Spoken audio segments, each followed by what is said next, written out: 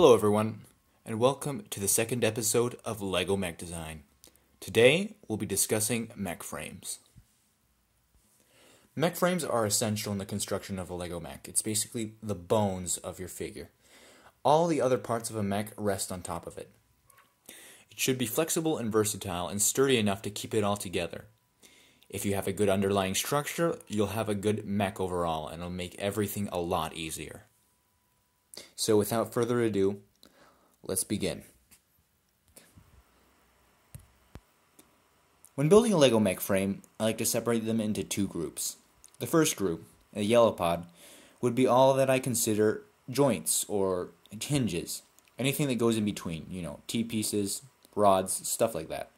In the second group, I have all my limb pieces, what would become the bones in and of themselves. You have one by ones with studs, plates, clips, anything that would help connect all of them together to build a mech.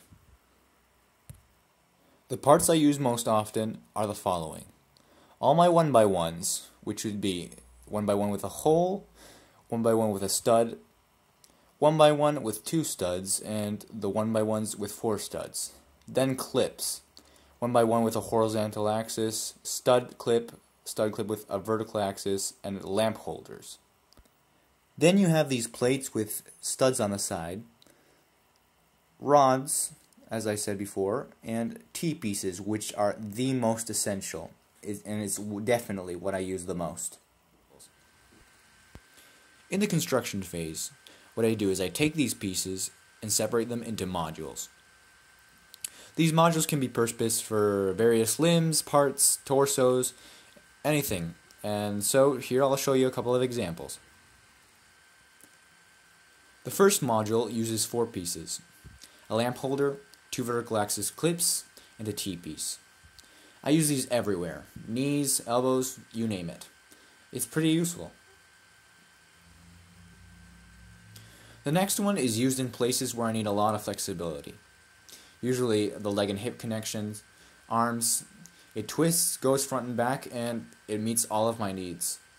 And it's always useful because it has a lot of studs on it too, so you can attach a lot of parts. Last one is this generic limb piece.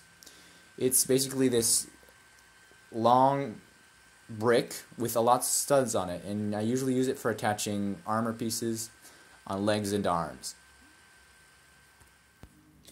These are examples of a couple of modules that I use the most. Now go out and build your own mech frame. Again, taking into consideration what we talked about in episode 1. What you want to build. Modifying each module depending on how long or wide you intended your mech to be.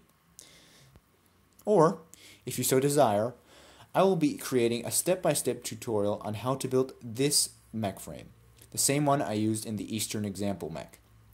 It'll most probably be uploaded in a couple of days. So feel free to click here on the screen or down in the description below.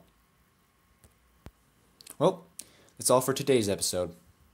Next time, we'll be talking about armor relationships, all the way from how to make your armor look good, how to make it fit on your mech properly, sorting tips, and other stuff like that. If this interests you, or if it might interest a friend, make sure to like or share. Thanks for watching.